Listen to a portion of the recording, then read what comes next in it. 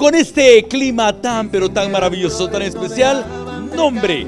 Vamos a preparar definitivamente en la mejor cocina de El Salvador algo muy especial. Ahí está, mi querido Frank Arevalo y por supuesto Henry Urbina. Chicos, adelante. Muchísimas gracias, Freddy. La verdad es que sí estamos contentos porque ya estamos a pocos días de celebrar el Día del Padre.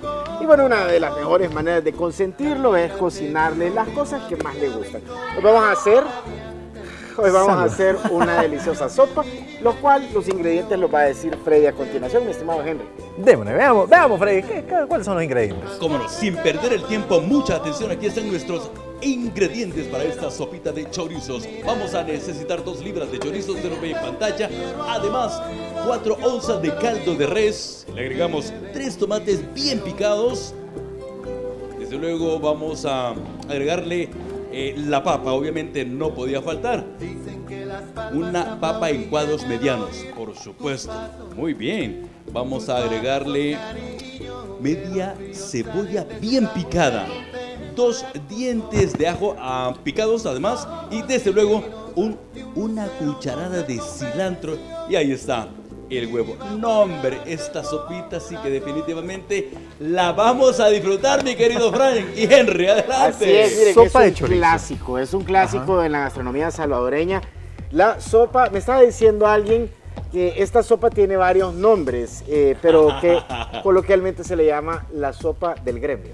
Sí, sí, sí, sí, ah, del gremio, un saludo para el gremio. Miren, un saludo para los que desayunan, almuerzan sopa de chorizo los domingos, nada más, punto. Solamente, Pero presente, dice, el gremio presente. Muy bien. Los chorizos que vamos a ocupar van a ser chorizos argentinos en este caso, pero puede usted ocupar chorizo mexicano que es un poco más picante y le va a dar más sabor a la sopa.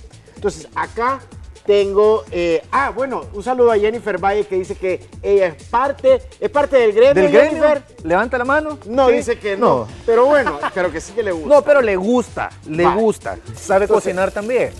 Sí, no, no, nunca he probado. Ella solo me dice, mira, yo lo puedo hacer.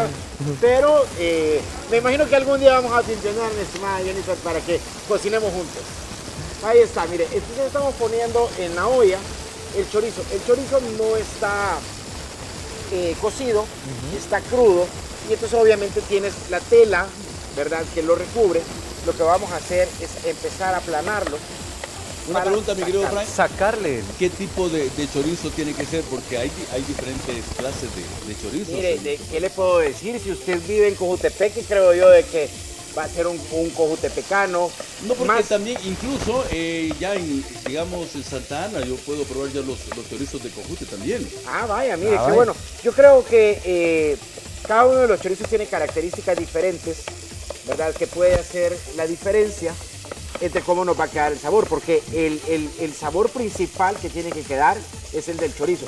Es por eso que ahorita no he puesto cebolla, no he puesto ajo al inicio, que es como normalmente se empieza una receta, porque lo que quiero es dejar acentuado el sabor a chorizo en la, en la olla. Mira, Frank, ya que comenzamos, vas a comprar el chorizo, te lo metes en la bolsa y llegas a tu casa. Sí. ¿Qué haces? ¿Se lavan los chorizos o solo los sacas y comenzás a partir?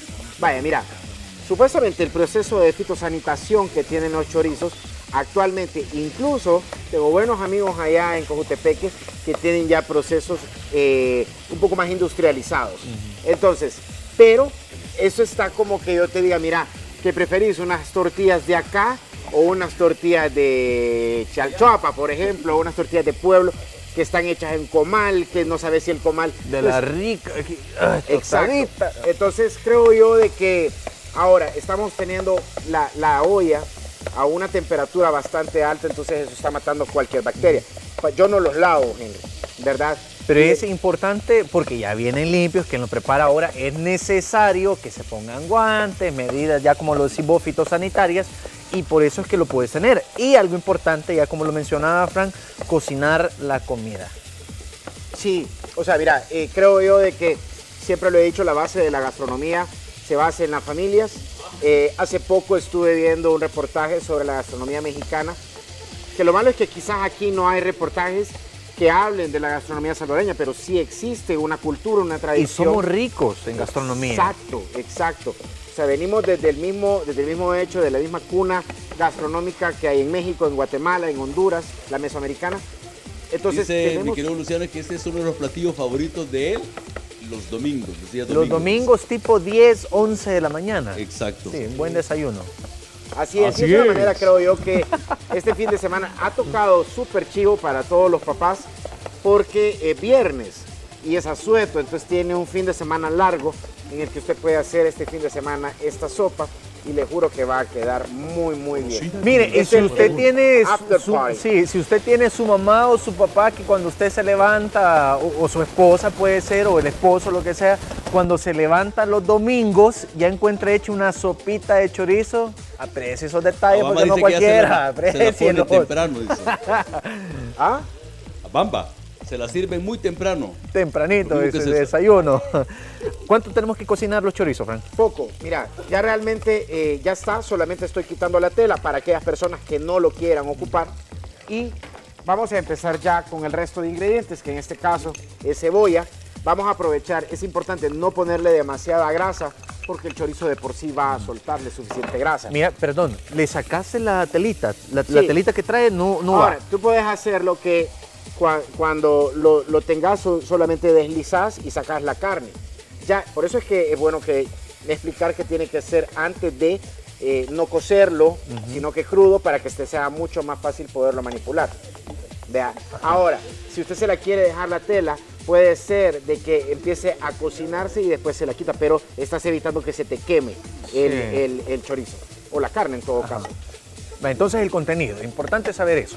Ya, ahorita se está fusionando el sabor de la cebolla. Vamos a poner ajo, que es bien importante también mezclarlo. Y después, Freddy, usted hablaba del caldo, que el caldo no le apareció a usted en la pantalla porque lo tengo en una olla aparte y la estoy, la estoy calentando para que el proceso de cocción no se interrumpa al poner un caldo frío, sino que, que ya esté caliente y que no nos vaya Exactamente. A detener el proceso de cocción. Pero el aroma que se siente, no hombre, con los, eh, estos elementos mezclados ahí, caray, riquísimo acá. Desde aquí está viendo Jennifer, no hombre, está sí, yo, Jennifer yo siento que está en el proceso de maquillaje, pero igual nos está viendo. Se le hace agua a la boca. Y yo creo que eso es lo que va a almorzar ahora al mediodía. Mira, Fran, estoy viendo que primero le pones la cebolla, después el ajo, después el tomate. ¿Tiene algo que ver en el orden acá? Pues no, a mí sí me gusta que primero se empiece a liberar los aromas fuertes, en este caso el tomate y el ajo, perdón, la cebolla y el ajo, que son, o sea, por lo menos la, cebolla sí es un sabor bastante peculiar, bastante fuerte, el ajo ya no se diga, para que se fusione con la grasa del ajo. Ahora, el tomate tiene más agua, entonces esto lo que va a hacer es lo que está pasando ahorita en la olla. Está empezando a liberar, está haciéndose acuoso y esto me va a permitir ya, pero ya todo el, sabor ya está homogéneo ya de los dos ingredientes anteriores. Ah, vamos a poner ahorita el caldo ¿Qué tipo de caldo es ese? Caldo de res, lo puede hacer usted ahí, lo dejamos. Y entonces esto vamos a dejar que rompa en hervor, como le digo, ya tenía el caldo caliente, ¿verdad? Vean ustedes el color rojizo que está haciendo parte de las especies propias del chorizo con el que se hace, que es achote, paprika y del tomate propio.